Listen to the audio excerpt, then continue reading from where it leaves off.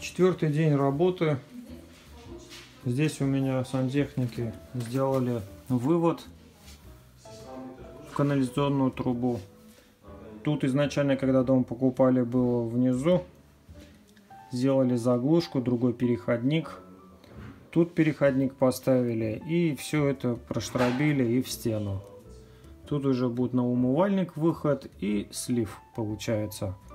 Сделали для того, чтобы можно было гипсокартоном прям ровненько здесь закрыть.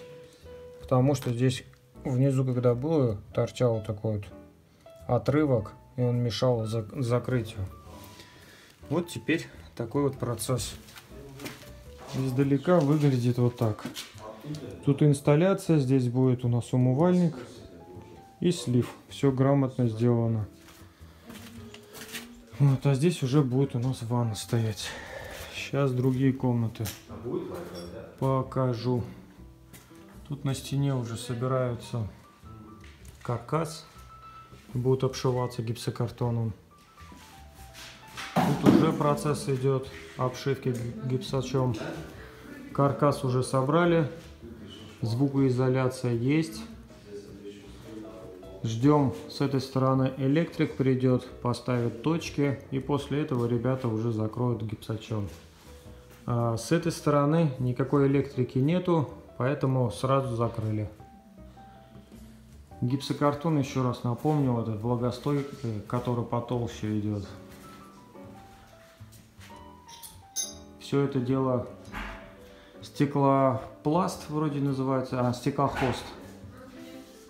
Все будет стеклохостом проклеиваться, и только после этого идет шпаклевки, чтобы никаких трещин, вот этих процессов. А вот, кстати, это стеклохост.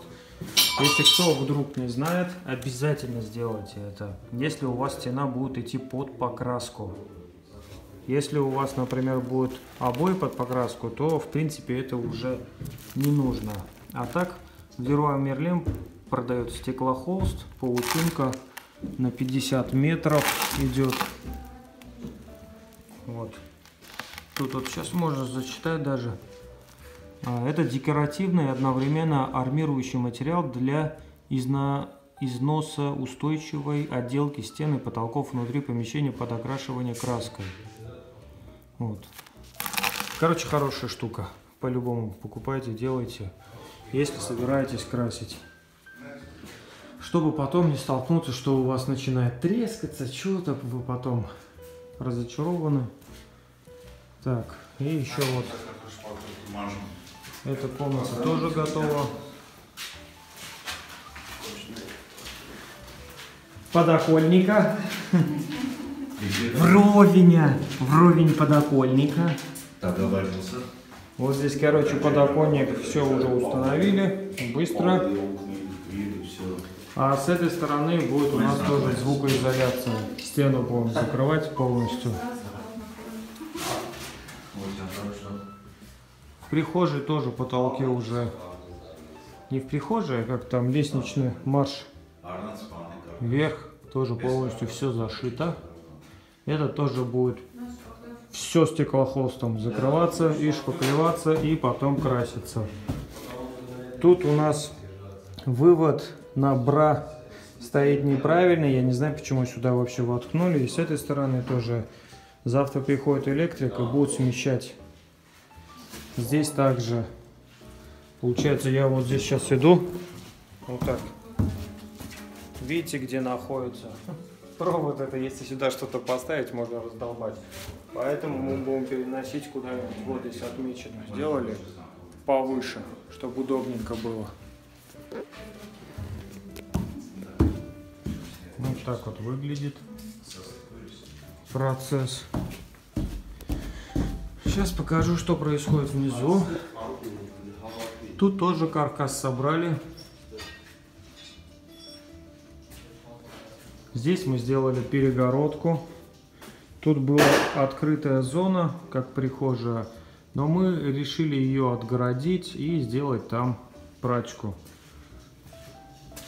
Потому что мы не хотим, чтобы у нас в ванной стиральные машины были.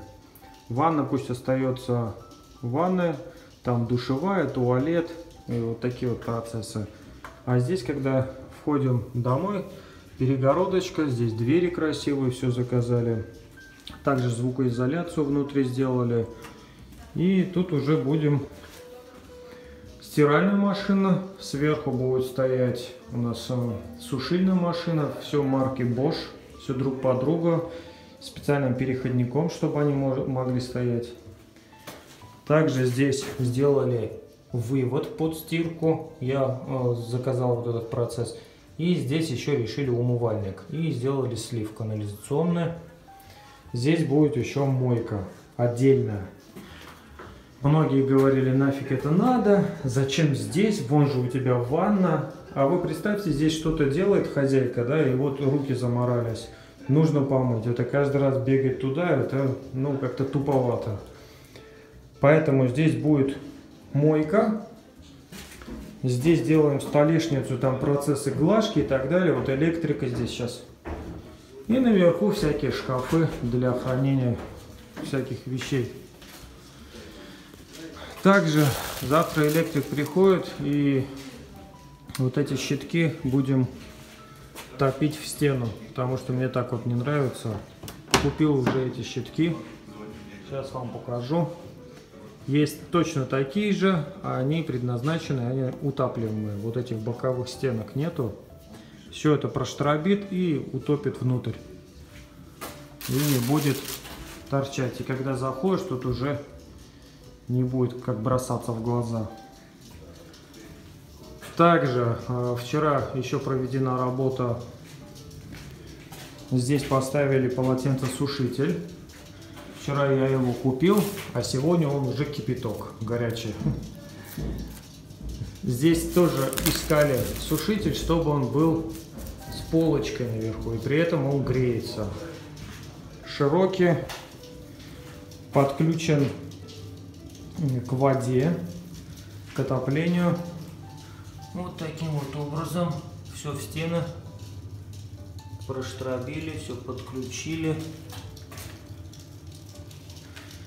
Там было два варианта. Один был электрический, другой водяной.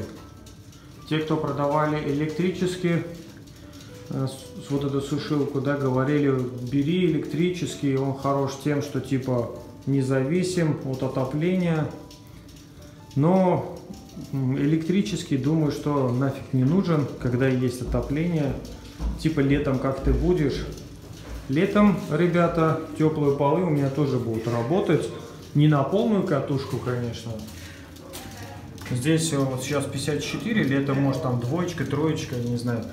Потому что, как ни крути, когда заходишь в ванну, кафель, и он всегда холодный. Чтобы детям не было холодно, по-любому теплый пол будет работать.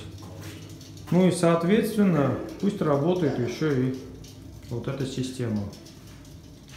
Так что нормально. Инсталляция есть. Все системы выведены. Котел работает, все работает. Жара просто. Просто жесть какая жара. Убавили до 54. А, сейчас еще надо будет убавить. Вот дышать нечем. Вот такое вот. Так.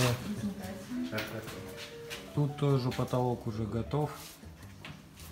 А здесь будем делать шумоизоляцию. А если наверху Тут будем конкретно шумоизолировать. Я закажу специальные материалы и мы продумаем потолок, что если даже наверху будет прыгать слон и что-то там орут, и не будет это слышно, потому что здесь будут гости сидеть, тут будем смотреть телевизор, тут может быть шумно, например, да, а сверху у нас находится наша семейная комната и детская комната. И вот этот Представьте, вечером тут сидим, отдыхаем, и кто-то пошел спать. И в это все как бы слушать не очень будет хорошо. Поэтому специальный шумоизоляционный потолок будет собираться. Это я отдельный ролик засниму. Все в процессе. Вот такие вот дела. Здесь тоже скоро подготовим электрику под кухню. Кухню уже заказали. Сейчас э, мы это все дело одобрим. И нам дадут точки, где что будет находиться, чтобы электрик мог все простробить и добавить. И дополнительно еще розетки поставить. Вот. А так, э, здесь когда дом покупали, вот эти розетки, газ, вот эти выходы некоторые были. Тут выход был, я его перенес сюда, потому что у нас будет угловая мойка. Здесь посудомоечная машина. И сюда как раз выведено под подключение посудомойки и раковины. А также, видите, э, здесь идет, сюда будет идти слив э, с посудомойки, получается сбоку.